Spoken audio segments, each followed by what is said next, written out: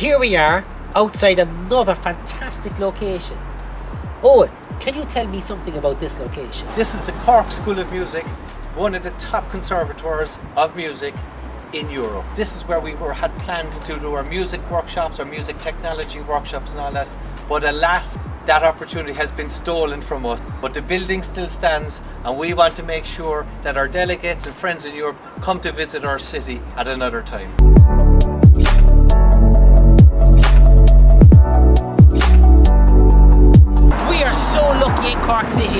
Some fantastic hotels. But as you can see across the river is the Clayton Hotel. This hotel was going to be the hotel where you were all going to stay. What a location.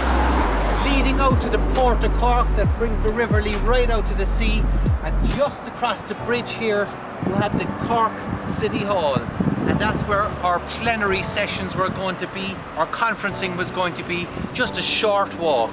What a pity, but we're going to do it online while we're still telling you about Cork.